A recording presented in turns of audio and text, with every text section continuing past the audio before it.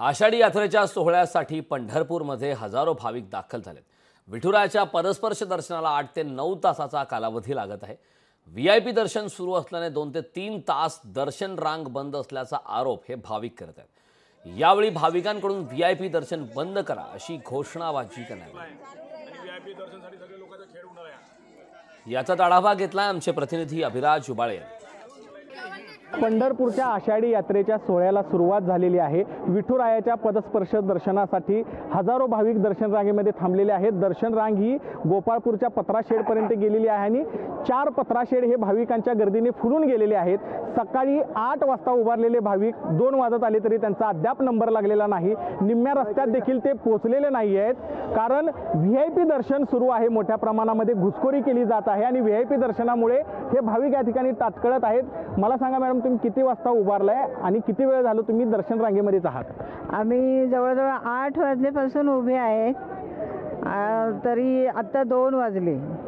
आणि आम्ही सातशे किलोमीटर अंतरावरून लांब इथे दर्शनासाठी आलेले आहोत.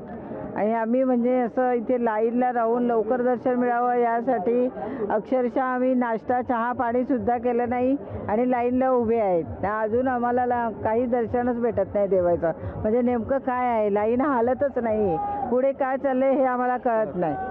व्ही आय पी दर्शन बंद झालं पाहिजे.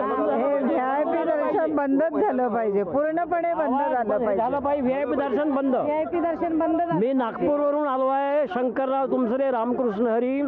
जे व्ही आय पी दर्शन आहे कृप- कृपया तात्काळ बंद करावं आणि दर्शन आणि सर्व दर्शन द्यावं ही माझी विनंती आहे. हे व्ही आय पी दर्शन देतात त्यामुळे इकडं सर्वसामान्य त्रास होतो. त्यांनी त्याचं नियोजन करावं. प्रशासनाचं शून्य नियोजन आहे या. पंढरपूरमध्ये तर दर्शन रांगेमध्ये अजूनही घुसखोरी सुरू आहे. या ठिकाणी मंदिर समितीची कुठलीही व्यवस्था नसल्याचा आरोप या ठिकाणी दर्शन रांगेतील भाविक करत आहेत. अभिराज उबाळे लोकशाही मराठी लोक पंढरपूर. लोकशाही मराठी. ऐका पहा जागरूक रहा.